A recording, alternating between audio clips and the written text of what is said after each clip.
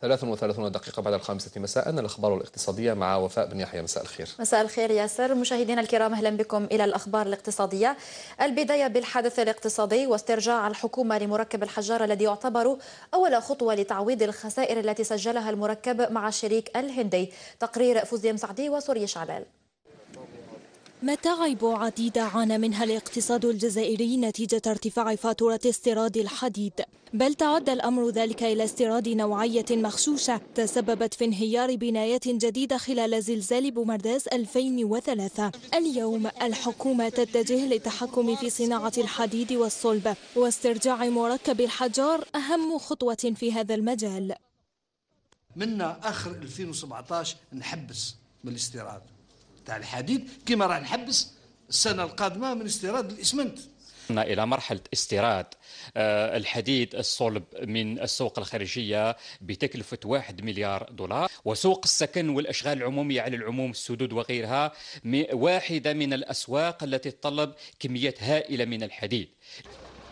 بعد سلسلة الخسائر والاضطرابات التي عرفها المصنع لدرجة تراجع الإنتاج إلى 200 ألف طن سنويا في حين حقق الشركاء أرباحا طائلة. ها هي الحكومة تنوي إعادة بعض أسطورتها الصناعية مجددا لرفع القدرة الإنتاجية. الشيء اللي طلبوه كل مدينة درك راهي عندهم الكرة راهي عندهم يوصلونا العام الجاي مليون و طن.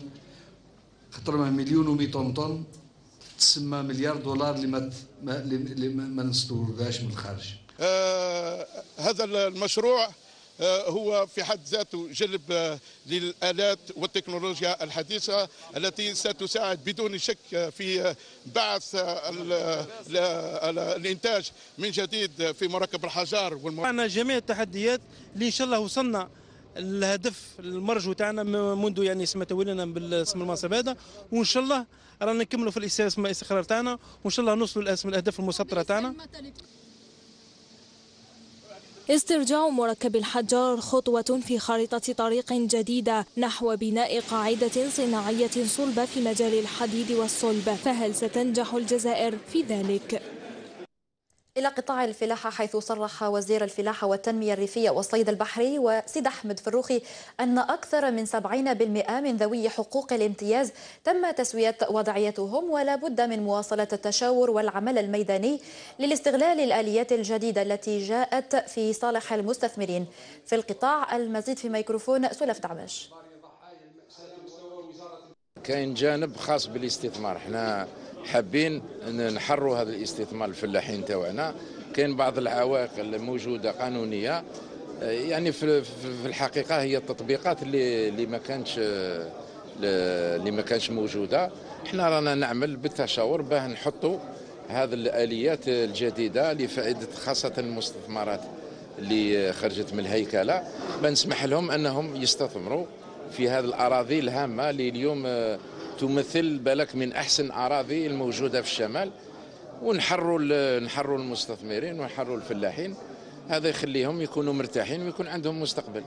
في ذات السياق صرح المدير العام للصندوق الوطني للضمان الاجتماعي يوسف شوقي عاشق أن هناك امتيازات وتحفيزات جديدة لدفع اشتراكات تأمين الفلاحين.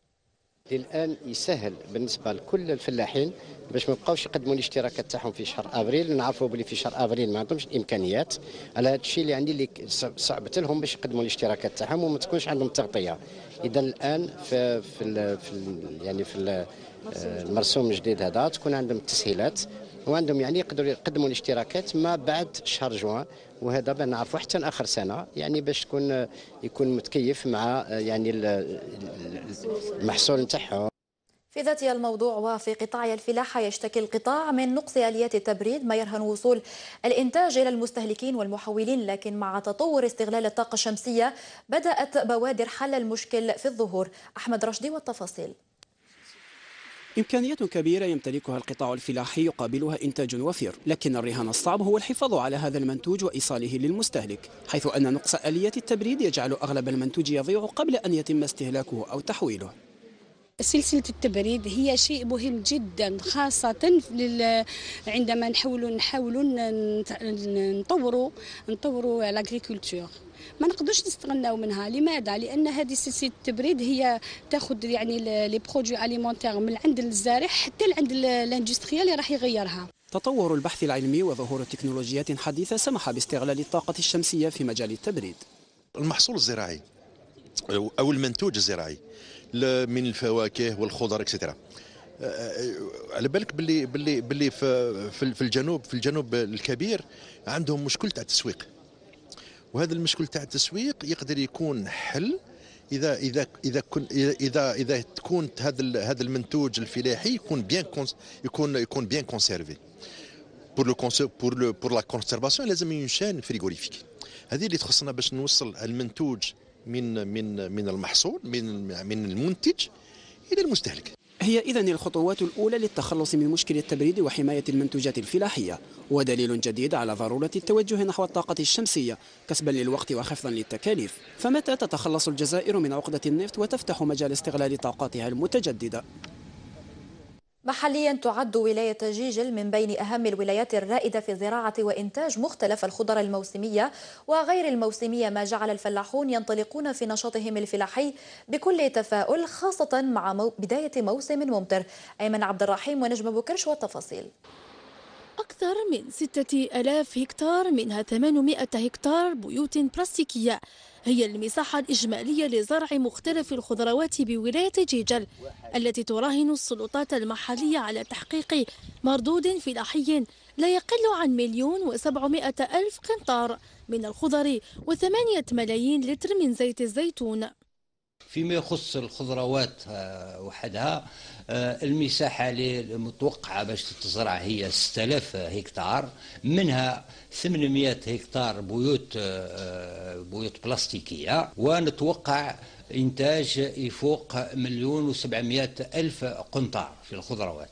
أما فيما يخص الشعبة المهمة على مستوى ولاية جيل ألا وهي زراعة الزيتون نتوقع هذا الموسم إن شاء الله آه، إنتاج يفوق 8 ملايين لتر.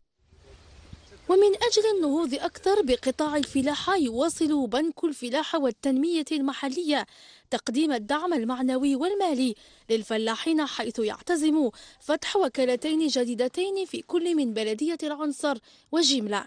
رانا نوجدوا إحنا في الطماطم هذه لي بريمير نوجدوا فيها كانوا نوجدوا فيها نحطوا لها البايا نحمروها نحطوا لها الخيط. نداويو. هذه باش يعني بربي إن شاء الله متمنيين منها معطي ما زلت كل البرات ونحن نفسوها إحنا رايحين نزيدوا نفتحوا إن شاء الله وكالة جديدة في العنصر. ورايحين نفتحوا وكالة جديدة في جملة. بل بل بإذن الله تعالى نفتحوا وكالتين في جيجل. تغطية السوق المحلية وتنويع النشاط الفلاحي والإنتاج في شعب أخرى لرفع الإنتاج وتنمية القطاع الفلاحي.